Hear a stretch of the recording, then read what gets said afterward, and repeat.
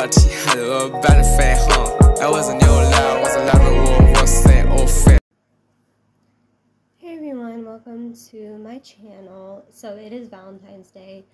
Um, unfortunately, I will not have a vlog today like I wanted to. My wife and I both work today, and it's also our daughter's birthday, so we're just going to celebrate her today. Um, we are waiting for our tax money to come in so we can go out and celebrate, and I will be having a vlog about us celebrating Valentine's Day hopefully soon, so I'm really excited about that. Because what I have planned for her is just, she's gonna love it, and I'm so excited. But, anyways, just a quick little update. So I started some new medication this past week. Um, she switched it because the medication I was on before was making me feel worse. It wasn't making me feel any better at all. It was pretty terrible, I'm not gonna lie. So, so yeah, so I feel better. I'm actually more of a morning person now, which is weird because I'm not a morning person. So I think the new medication is starting to work, which is great because I need something to help. However, the one thing I'm still struggling with is eating. I'm only eating about one meal a day and a couple snacks.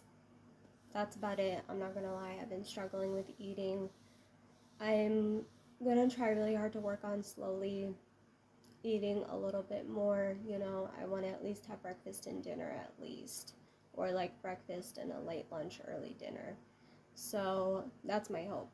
So, because like I said before, I'm not trying to lose any more weight. I'm honestly, I'm actually underweight right now.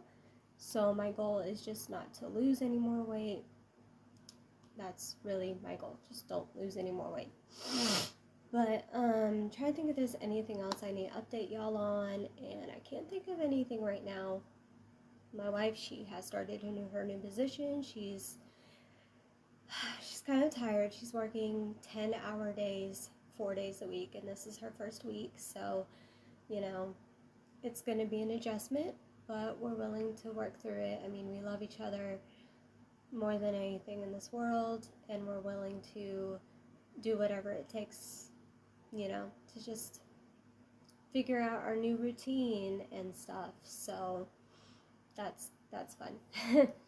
part of marriage and part of uh, being moms.